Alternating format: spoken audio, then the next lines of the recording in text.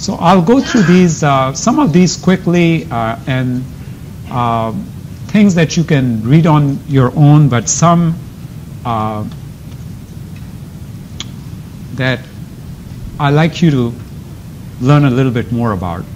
So everybody know what the uh, what a financial audit is, right? Everybody know what a financial audit is, right? That's what we most learn.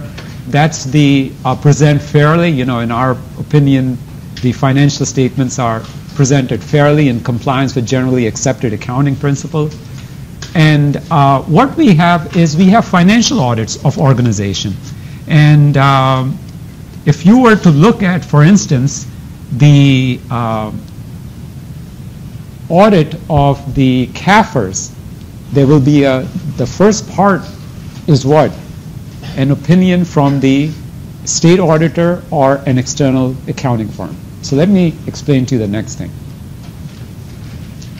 All the audit opinions we see are given by external audit firms. For governments, something strange happens.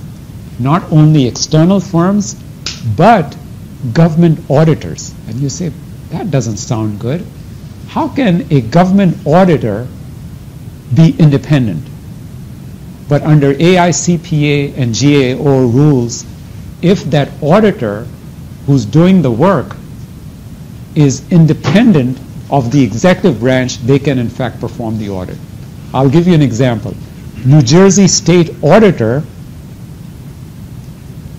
can do the audit of the New Jersey state government because the auditor is appointed by the legislature. The audit is being done of the executive branch. You know, the three branches of government, right? So they have different bosses and it can be done. So you'll see that difference from, um, you know, from place to place. Some of them you have the external firms and some of them you have um, the state auditor itself. So these are the standards, you know, auditors are supposed